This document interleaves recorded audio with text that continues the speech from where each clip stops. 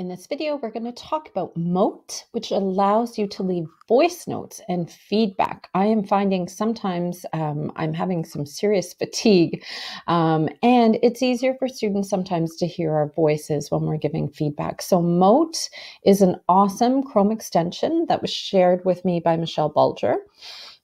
You're going to start in the Chrome Web Store and you're going to search for Mote. It is an extension. So I'm going to click on that. I'm going to add it to Chrome and add the extension.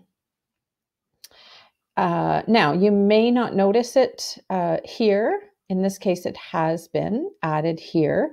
If it hasn't, then what I would do, see how it disappears, is I need to go into those extensions. I need to find it and pin it. And that is uh, perfect for me so that I know that when I'm logged into Google Chrome, all of my extensions that I want pinned to the top appear here. And I want Mote to be pinned to the top. So then once you get here, you need to uh, talk about whether or not you are a student or a teacher. Um, and so your students would obviously log in here. It is a yellow tool, um, meaning that they would have to sign in with their um, Gmail. So you might need permissions for that. All right, and I'm going to sign in with Google as a teacher using this account. All right. Um, it does require you to ask a couple of uh, answer a couple of questions. Um, so I'm just going to quickly answer them. And I'm going to go grade 9 and 12 next, and the name of my school.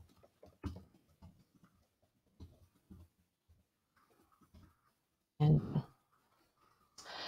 all right, there is a uh, information sheet here. You basically are going to open or create a Google Doc, and then it allows you to add your uh, either a transcript or a voice note right in there.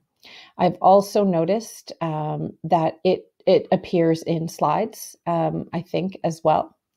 And so even when I'm leaving a comment on something, I can use Mote to record it. All right, I can edit it. Um, it allows me to save them. I can uh, click or read. You can, when you enable the transcript, your voice note also becomes um, a written transcript, which you could easily edit if you need to. And that, so let's see how it works. Um, so I'm going to go into um, a doc here. And this would be in Google Classroom when I'm giving students assignment. Um, so just say I was giving this particular student some feedback. Okay.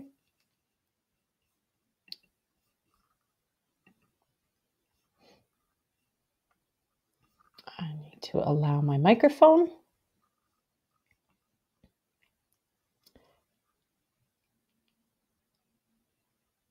And I'm over 18, so I can enable extension.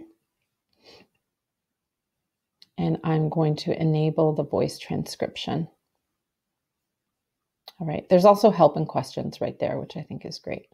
All right, so just say I have some comments on to put on this student's introduction. I'm going to go record a voice note. I really think this is a powerful introduction. Um, one of the things I'm wondering about is whether or not your first two paragraphs should be combined.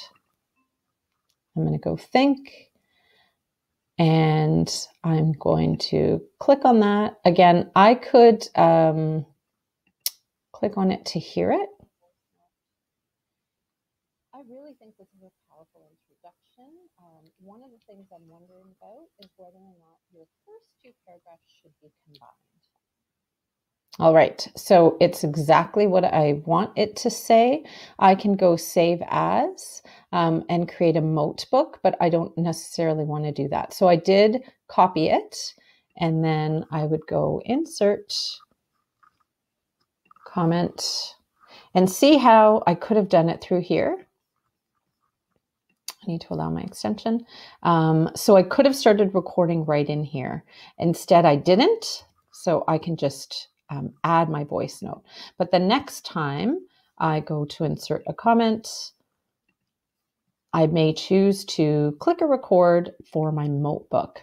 Um, this is really great if you are, um, I know in the IB program, we're not allowed to give written feedback, so I would not enable trans, uh, the transcript, but I could add um, notes here. So this is a powerful little tool. Um, will help kids connect to you because they hear your voices, but also uh, will save you time. I know for me, it's easier to talk as I read than it is to uh, write down feedback or find a, a pen to annotate something. So hope you enjoy it.